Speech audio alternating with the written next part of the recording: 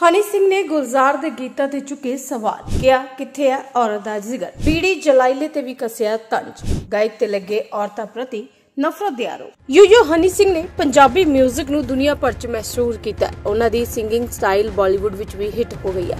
ਹਾਲਾਂਕਿ ਉਹਨਾਂ ਦੇ ਗੀਤ ਅਕਸਰ ਵਿਵਾਦਾਂ 'ਚ ਰਹੇ ਨੇ। ਕਈ ਲੋਕਾਂ ਨੇ ਉਹਨਾਂ ਤੇ ਔਰਤਾਂ ਪ੍ਰਤੀ ਨਫ਼ਰਤ ਦਿਖਾਉਣ ਦਾ ਆਰੋਪ ਲਗਾਇਆ। ਰੈਪਰ ਗਾਇਕ ਨੇ ਹੁਣ ਇਹਨਾਂ ਦੋਸ਼ਾਂ ਤੇ ਖੁੱਲ੍ਹ ਕੇ ਗੱਲ ਕੀਤੀ ਹੈ। ਸਵਾਲ ਕੀਤਾ ਹੈ ਕਿ ਉਹਨਾਂ ਨੂੰ ਹੀ ਅਕਸਰ ਨਿਸ਼ਾਨਾ ਕਿਉਂ ਬਣਾਇਆ ਜਾਂਦਾ ਹੈ, ਜਦਕਿ ਗੁਲਜ਼ਾਰ ਵਰਗੇ ਵੱਡੇ ਕਲਾਕਾਰ ਵੀ ਅਜਿਹੇ ਗੀਤ ਲਿਖ ਚੁੱਕੇ ਨੇ। ਮੈਨੂੰ ਲੱਗਦਾ ਹੈ ਮੈਨੂੰ ਇਸ ਤਰ੍ਹਾਂ ਜਵਾਬ ਦੇਣਾ ਚਾਹੀਦਾ ਗੁਲਜ਼ਾਰ ਵਰਗੇ ਸਤਿਕਾਰਤ ਲੇਖਕਾਂ ਦੇ ਲਿਖੇ ਗੀਤ ਬੀੜੀ ਜਲਾਈ ਲੈ, ਜਿਗਰ ਮੇ ਪੀਆ ਬਾਰੇ ਵੀ ਕਦੇ ਸਵਾਲ ਨਹੀਂ ਉਠਾਇਆ ਗਿਆ।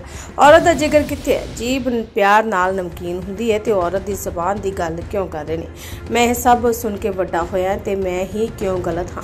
ਹਨੀ ਸਿੰਘ ਸਾਲਾਂ ਤੱਕ ਇਹਨਾਂ ਆਰੋਪਾਂ ਤੇ ਚੁੱਪ ਰਹੇ। ਉਹਨਾਂ ਦਾ ਮੰਨਣਾ ਹੈ ਕਿ ਇਸ ਸਾਲ ਉਹਨਾਂ ਨੂੰ ਆਸਾਨ ਨਿਸ਼ਾਨਾ ਬਣਾਇਆ ਗਿਆ। ਜਦੋਂ ਗਾਇਕ ਨੂੰ ਉਹਨਾਂ ਦੇ ਗੀਤਾਂ ਵਿੱਚ ਔਰਤਾਂ ਨੂੰ ਇਤਰਾਜ਼ਯੋਗ ਢੰਗ ਨਾਲ ਦਰਸਾਉਣ ਬਾਰੇ ਸਵਾਲ ਕੀਤਾ ਗਿਆ, ਤਾਂ ਉਹਨਾਂ ਨੇ ਜਵਾਬ ਦਿੱਤਾ ਹੈ ਕਿ ਐਸੇ ਥੋੜੇ ਨਾ ਹੋਤਾ ਹੈ। ਗੀਤ ਚੋਲੀ ਕੇ ਪਿੱਛੇ ਕਿਆ ਹੈ ਦਾ ਵੀ ਜ਼ਿਕਰ ਕੀਤਾ ਤੇ ਕਿਹਾ ਕਿ ਵਿਵਾਦਤ ਗ੍ਰਸਤ ਹੋਣ ਦੇ ਬਾਵਜੂਦ ਇਸ ਗੀਤ ਨੂੰ ਸਵੀਕਾਰ ਕੀਤਾ ਗਿਆ ਸੀ ਤੇ ਗੀਤਕਾਰ ਨੂੰ ਇੱਕ ਮਹਾਨ ਮੰਨਿਆ ਗਿਆ ਸੀ।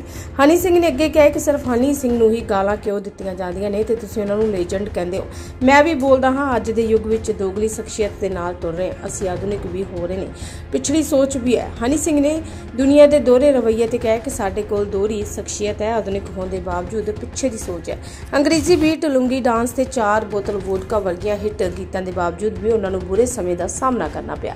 ਸਾਲ 2014 ਤੋਂ 2021 ਤੱਕ ਉਹ ਨਸ਼ੇ ਦੀ ਲੱਤ ਤੇ ਮਾੜੀ ਮਾਨਸਿਕ ਸਿਹਤ ਕਾਰਨ ਮੁਸ਼ਕਲਾਂ 'ਚ ਘਿਰੇ ਰਹੇ। ਹੁਣ ਉਹ ਫਿਰ ਤੋਂ ਸੁਰਖੀਆਂ ਵਿੱਚ ਨੇ। ਹਨੀ ਸਿੰਘ ਤੇ ਨੈਟਫਲਿਕਸ ਡਾਕੂਮੈਂਟਰੀ ਬਣਾਈ ਜਾ ਰਹੀ ਹੈ, ਜੋ ਉਹਨਾਂ ਦੇ ਸ਼ਾਨਦਾਰ ਕਰੀਅਰ ਤੇ ਨਿੱਜੀ ਲੜਾਈਆਂ ਬਾਰੇ ਜਾਣਕਾਰੀ ਦੇਵੇਗੀ।